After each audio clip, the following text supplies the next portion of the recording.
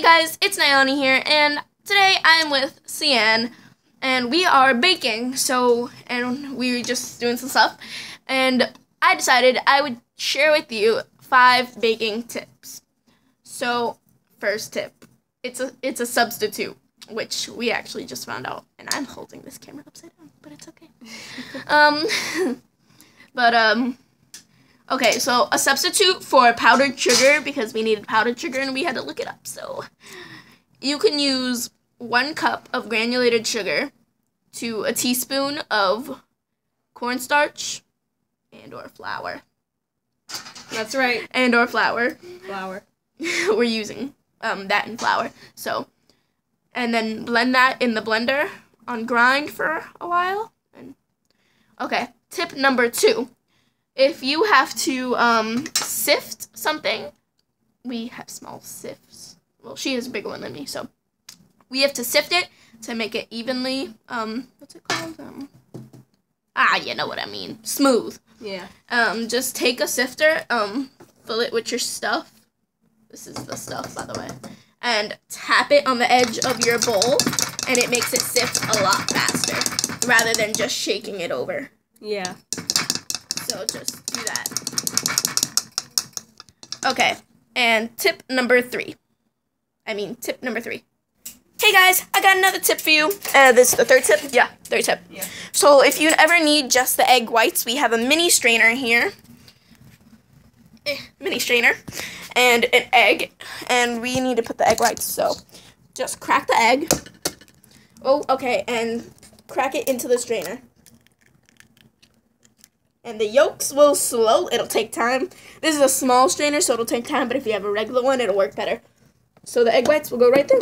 So should we just like shake it a little bit? Go ahead and shake it. Okay, guys, we were messing with an egg, and I started to peel off the shell, and it's not boiled or anything, but look, that's the skin of the egg. It's not even boiled. That's oh. just the skin of it. okay, guys, I'm not sure if I flipped the camera upside down or something before, but I think I did. Okay. Oh, great, it fell in. Um, so my next tip, this is tip number four.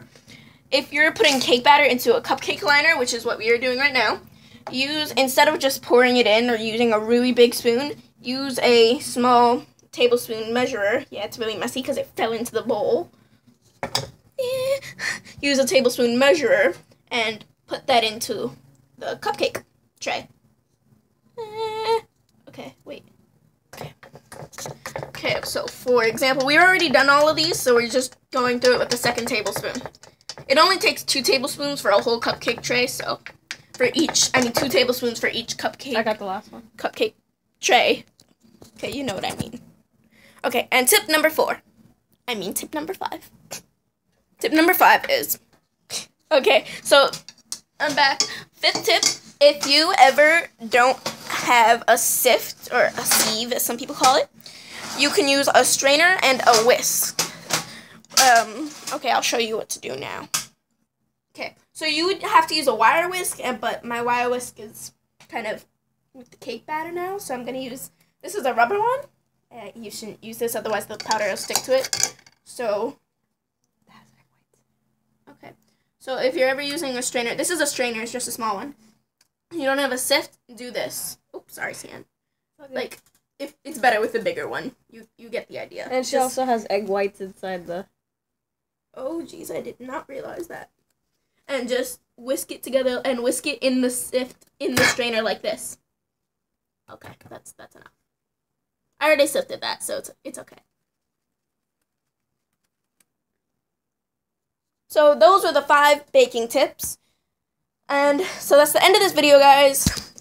Um, don't forget to subscribe and like this video if you have a god sister or god brother. So or family in so general. Either we or I will see you in the next one. Goodbye.